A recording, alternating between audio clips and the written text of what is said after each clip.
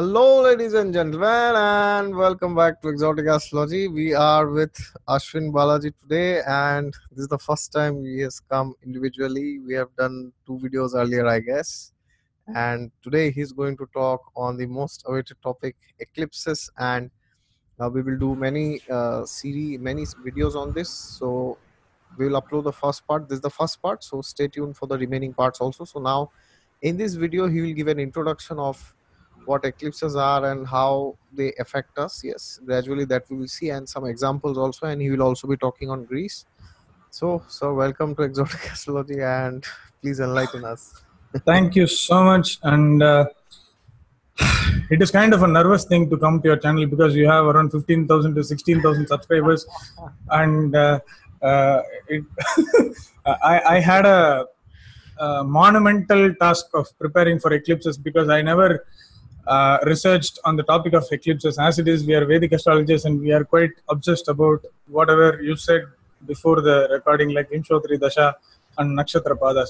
So uh, we, we are quite uh, not blind, but still not over concentrating, or even we don't concentrate as much as we should do when it comes to eclipses and their impacts. So uh, I think Western astrology and Western astrologers have done much more um, research work in terms of analyzing eclipses and their cycles. So, so th- there is a uh, eclipses. So, uh, do you want to just? Um, uh, are you okay if I share screen for a little bit of images where we can just talk about eclipses? whatever Just- makes you happy and thank you very much for catering to my needs and expectations No problem. research you have done and i was like wow we need to see it now it's high time and we had Hmm. discussed this somewhere in october only i guess that 9 december we will do the recording Yeah, but uh, I think we are doing it on 8th December, and oh, that is again. it? oh yeah I, I, I, I just thought that Mercury retrograde will kind of delay things, but uh, the shadow period of Mercury is kind of preponing things. oh okay nice nice So And yes, by the way, uh, you also have your channel, and I will pin the channel in the description. So whoever wants to subscribe, please go to his channel and see the videos. And you can you you also do readings. Do you have a website? yeah, I have a website, but uh, I'm I'm kind of very uh, I'm not doing extensive readings because I I work with the magazine and uh, my entire time is uh, gone. I publish a e-magazine on astrology, so my entire time goes for that and uh, my YouTube stuff. So it's, it's kind of uh, overwhelming at this point. So I'm kind of very uh, like subdued when it comes to readings. Okay, okay, that that's fine. That's fine. so yeah so so let's say uh, eclipse is basically the influence that the nodes of the moon cause to either sun or the moon uh, basically the luminaries so this is the uh, chart. We all know that sun is here and uh, uh, we have new moon uh, earth is here. So when when moon falls in between the sun and the earth we have a new moon. And when earth falls in between moon and the sun in a same line or straight line we have a full moon. So essentially we it is very clear that when a node um, like suppresses the new moon it is uh, solar eclipse. So it cannot be a lunar eclipse. So uh, a solar solar eclipse happens on a new moon day for sure. Okay. And uh, on a on a full moon day we have a lunar eclipse here. So i think there is other video sorry other images where i can just describe what uh, how the nodes react and what the nodes exactly are. Okay. so see this is the uh, we all know that earth rotates on an orbit around the sun. Like all the other planets it has a separate orbit, orbit and it rotates on a plane. So this is the the brown thing here is the plane. And this is the orbit uh, this is the orbit on which earth rotates. I think it's very uh, dim here but still if you can see the very light yellow line here is the earth's orbit and this is the earth.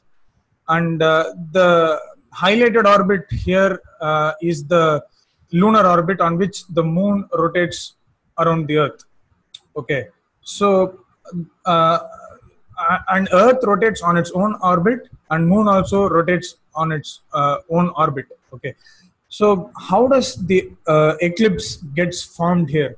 So, uh, what are the major reasons why the nodes are actually coming into place?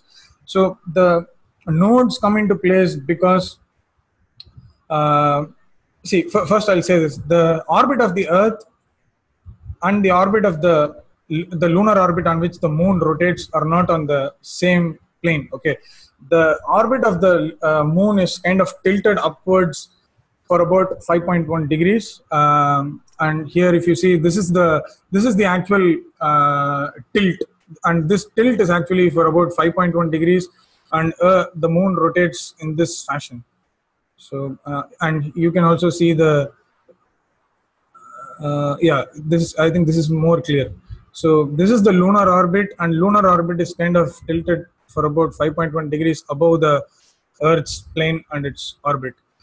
So uh, the intersection point of the lunar orbit and the plane is where the nodes are formed. And if you look at the, so the nodes we are sure that nodes are the mathematical points here and these are the mathematical points and this is the place where uh, the lunar orbit and the earth's plane kind of intersect. And the intersection point is where the nodes make a revolution around the lunar orbit. And uh, from earth's point of view it is a retrograde motion. So we take and it takes about 18.6 years. So roughly at about for about 18.6 years. And whenever uh, the eclipse happens when the sun or the moon uh, uh, eclipse happens when the sun falls in the nodal line. So uh, so basically sun moon and the luminaries are uh, kind of in the same line when an eclipse uh, is formed. So if you see here uh, when moon goes here it will be an eclipse. You can see the sun's ray here. So maybe i'll just yeah it's i think this is more clear. So sun is here and these are the nodes and moon is also here. So in this video uh, in this image moon is here. But in this video this is not an eclipse. But in this video moon is here. So this is an eclipse. So eclipse happens uh, whenever the sun is influenced by the nodes and when they form uh, when they come in a same line. So precisely um, when moon or moon also falls in the nodal line when uh, sun is already influenced by the nodes we have an eclipse. So whenever the moon is here we have a solar eclipse and whenever the moon is here like away from uh, sun and while earth is between the two bodies we have uh, this is a full eclipse because this is a full moon. So it, it's not a full full eclipse but it is a full moon. So uh, this could be a lunar eclipse. And uh, solar eclipse as i already said it always falls on the new moon day. So i think this is uh, this is the basic thing that i wanted to talk about nodes and these are the images that i got from a wonderful video on a youtube channel. And i'll possibly share the link to you so that your viewers can also benefit by this uh, in terms of understanding what the nodes are from astronomical point of view. Because this was the first step where i got uh, the astronomical definitions of what eclipses actually are. So um, so should i just stop the screen sharing Yeah, yeah, you can stop screen sharing. That's yeah. So uh, i'm sure you know uh, whatever i said and you're a science graduate so precisely you, you might be knowing much more than me. So uh, if you have any uh, additions to this or something like that No, you you may also. Okay. So i hope your viewers uh, got i'll share the link and i think that will make more sense. I'm not a science expert but still uh, i just tried my best.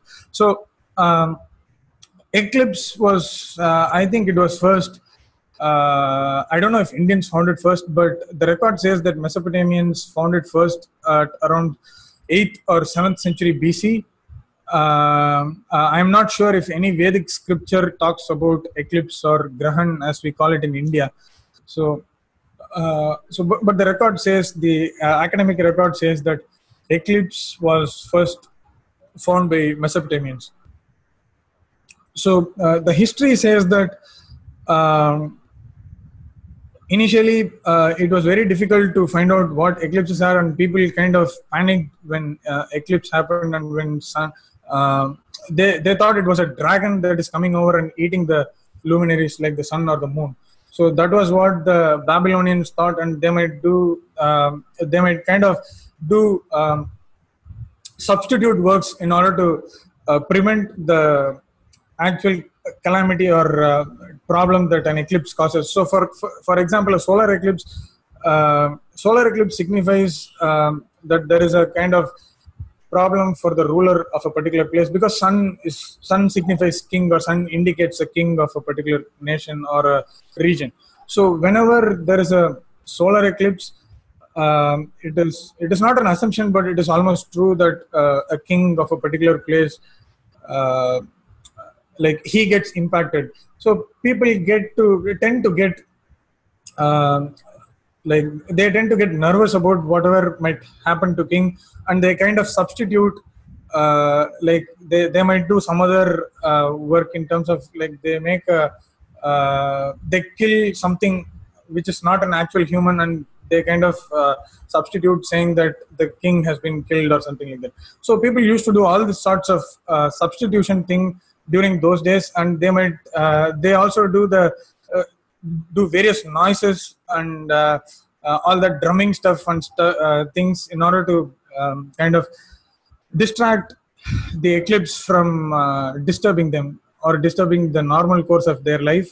And i think this was evident in babylonian tradition uh, also the indian tradition and we all know that rahu ketu is a major uh, influence in Indian tradition, and uh, we know what a grahan causes. And it was also quite famous in the Chinese tradition, and we all believed there is a universal belief that we have to distract the dragons from eating the luminaries, so uh, so that the earth is saved or their particular region is at least saved from the eclipse. So. Uh, if uh, maybe I think it's time for us to move to the Greek chart. So, for, uh, the, I would like to say something about like uh, I started reading uh, Bernadette Brady's uh, work on eclipses, which is a PDF of about 17 to 18 cycles, which is called as Saros cycles. I don't know who invented this Saros cycles, but the eclipses cycles are far more longer than what we actually think, and it has far more uh, long lasting impact in terms of uh, uh, speaking from mundane point of view. And b- because uh, a country uh, a country or a region has uh, always survives for a long time but a man's lifetime is limited to 60 or 80 years. But even though a man's lifetime is limited to 60 or 80 years we can see a family which is being impacted by eclipse and we can see a specific pattern uh, that relates to eclipse in almost all the family members. So uh, this can go up to generations. If uh, if a son has an eclipse chart, there might be a significant uh, eclipse uh, relation in a father's chart, and same way grandfather's chart, and then great grandfather. So the, there is a typical pattern in which uh, eclipse affects a family, but um, maybe I'll just come up with some examples or individual chart examples if I have in future videos. But um, for now, I'm sure that um, Saros cycles says that uh, uh, eclipses and their cycles run for about uh, 2000 years and more. So uh, if we see the, I'll just share the screen once again. Uh, so I have the national horoscope of Greece and uh, okay so this is the national horoscope of greece okay. So um, okay so uh, I, I don't want to get into the details of it here. So the, this is the national horoscope of greece that i got from internet if i'm not i don't know from it's like astro.com or something i'm not sure the source from where i got. And this software is bindu astrology software. I'm uh, kind of obliged to say this, which is developed by wonderful Iranian astrologer who is also a Vedic. He is proficient in more than two forms of astrology, and his name is Ishan Kazemi. And uh, he, uh, this is a Vedic astrology software, Bindu astrology software developed by him. So, and I use this predominantly uh, in many ways to my astrological research. So, if you see here, this is the Greek national horoscope, and the Greek national horoscope is actually uh, uh, it is kind of an ecliptic eclipse horoscope, eclipse kind of horoscope because we have the nodes here, and uh, the it is kind of uh, I don't know if I'm right, but it is uh, it is almost sure that eclipse happened eclipse happened about 16 days after uh, 18th February. So because Sun is at 7 degrees and Rahu is at 23 degrees and we have Moon at 21 and Ketu at 23.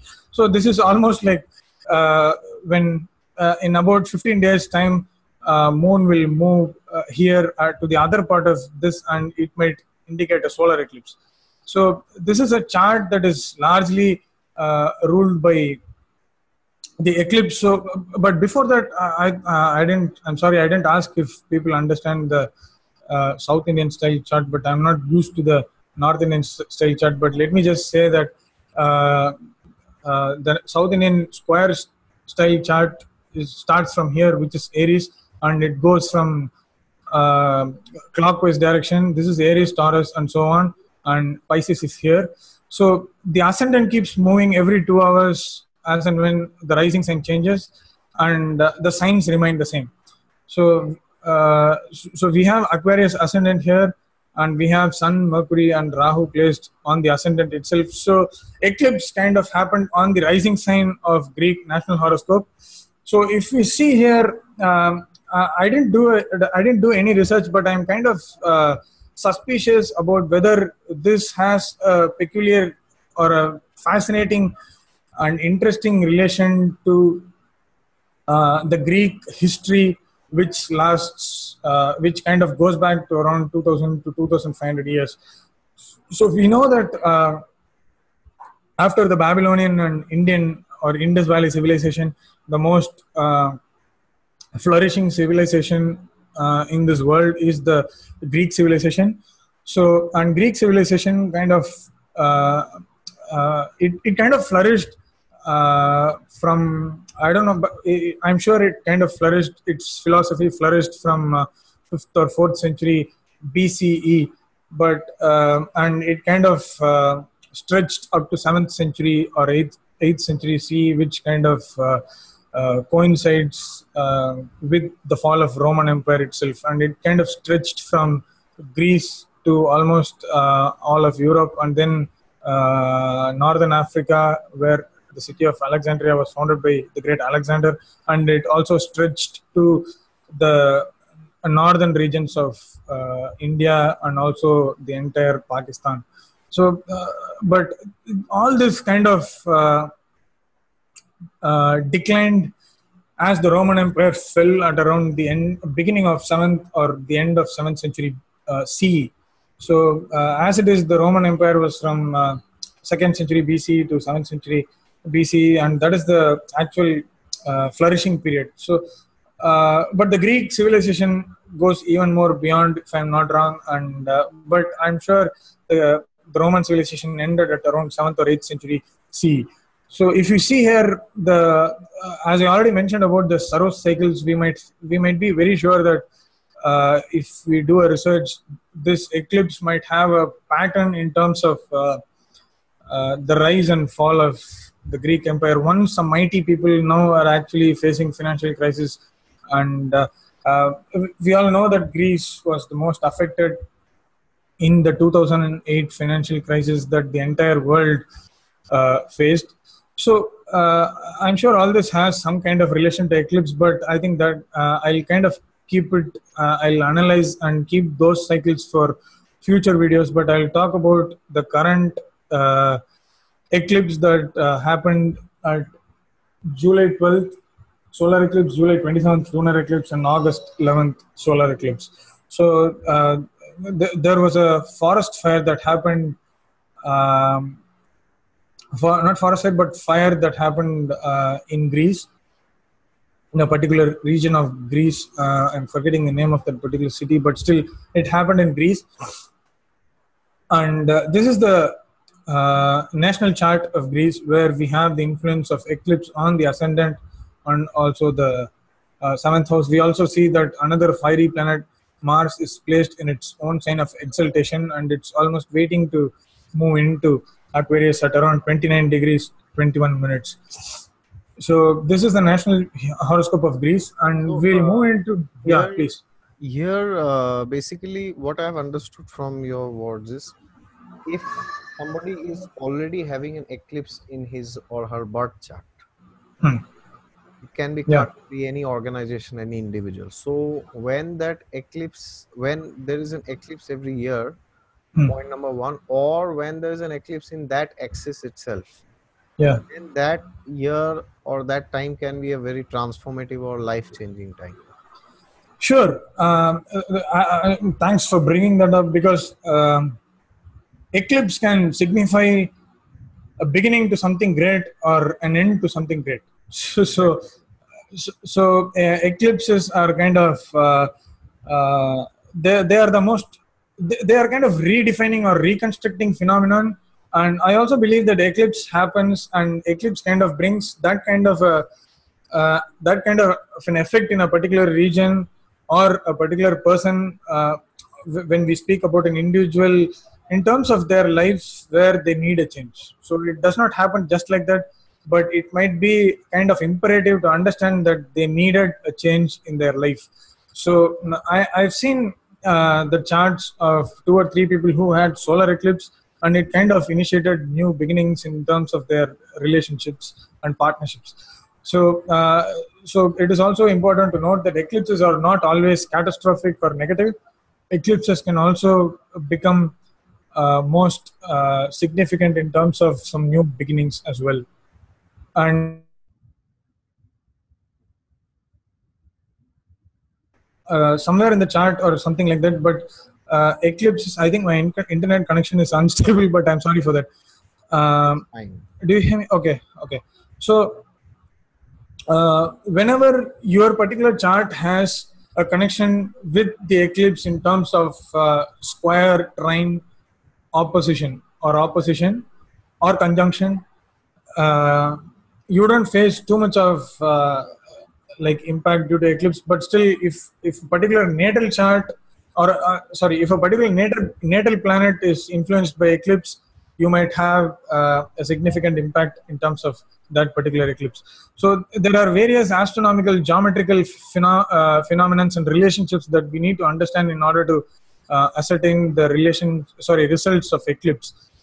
So yeah do you want to add anything No, yeah, that's what I was feeling. I have seen in my experience that whenever uh, there is an eclipse in a person's chart, uh, on the top of his natal sun, moon, or the ascendant lord, the whole life changes. yeah it's, it is kind of a uh, if not 360 degree turn but it is at, at least a 180 degrees turn because we see that nodes are placed at exactly 180 degrees from each other so uh, there might be a very uh, transformative period that we we should kind of uh, Yes. go through yeah Another thing I have seen is when the eclipse is happening, these are three things sun, natal sun, natal moon, or the ascendant lord. And the other fourth thing I have seen is when it is happening over there, Rahu Ketu or Ketu Rahu opposite. yeah yeah yeah i think you're right but Five- maybe if you five times these five times uh, eclipses happen, boom bang, your life will change. sure very good so uh, uh, i think if you don't mind sharing your own personal example that you faced maybe if if you don't want that's fine Yeah, so I had realized that whenever there there was an eclipse, if I see myself also in the coming year, in the past three years, or I would say past five years, I would say. So whenever there there was an existing planet in any of those houses where the eclipses were, Hmm. big changes have happened. Now either of the two things will happen. Either it will the change will be pertaining to the house where the eclipse is happening, or suppose you have a planet which is ruling a particular house the 10th house suppose and the eclipse is happening over your 10th house for example uh, over your 10th lord then i have seen the changes are more rather than if the eclipse is happening in a particular house because the lord will actually tell you, you know where the energy focus is going So if the eclipse is happening over the Lord, then wherever the, that Lord can be placed, but there will be significant uh, events. And what what I have seen in my experiences that many a times before the beginning of the eclipse, especially the uh, new moon, that solar, solar eclipse, I've seen that suppose this is going to happen in a particular time. One, two months before that, we kind of come to know that there is something which we will need to do in this house, but we don't do it. And then when the eclipse is a bang, we have to do it. Otherwise, there's no escape. So this is what I've seen in my experience. Great. So even I had a very, uh, I had a positive experience. Uh, luckily, and uh, my seventh lord was uh, connect. Not not my seventh lord, but the planet natal planet that was placed in um seventh house, and my seventh lord were also connected in the eclipse from opposite regions like Mars in Capricorn and. Uh, uh, Venus in uh, Cancer. Venus, I'm not sure Venus was really in the eclipse zone, but still Venus was close to the eclipse zone during the eclipse in July and August. So, so the uh, I made some really important collaborations during that time um, in terms of my astrological career, um, and that kind of uh, it kind of shifted my entire uh, life in terms of my astrology. So uh, that was a very crucial period for me where i had a lot of realizations and i put in a lot of efforts uh, to to get in uh, connection with so many people and i'm sure you know who they are but still uh, i think it is important for me to mention my own personal experience. So why does venus and mars play a very important role here? Venus is the natural planet of union uh, which rules the seventh house of libra and mars is the ruling planet of my seventh house. So it also signifies collaborations and partnerships, not just relationships and collaborations and partnerships. So there was a lot of positive things that happened to me during the eclipse, and I consider myself fortunate for that. Hmm. Amazing. So I think we can discuss more on this in the next session. So Sure. stay tuned. Yeah. all of you who have been watching till the end. Okay. Thank you very much, and we'll see each other soon. Bye. Bye bye.